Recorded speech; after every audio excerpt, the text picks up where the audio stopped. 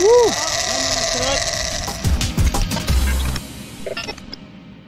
So Randy, tell us well, what we're gonna catch today. What are we going for? The big blue marlin. Big blue marlin. Yes, one each.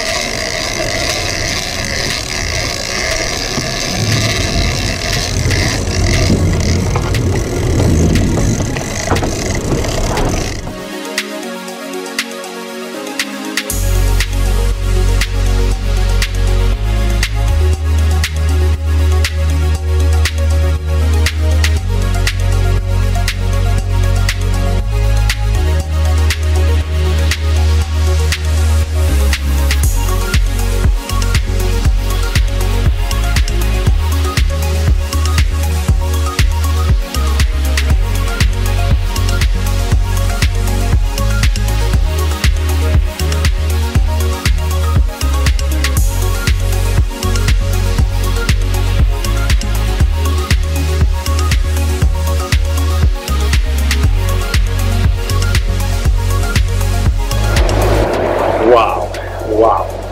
It was about an hour of a fight. According to Randy, it's about 150, 200 kilo fish. And um, it was hard, man. Um, I'm not used to this, so I didn't do the best technique. Being right-handed, things or being left-handed didn't really help. I couldn't reel him really fast. But um, we didn't lose him. We got him. Um, we got him unhooked, let him swim. But beautiful big fish.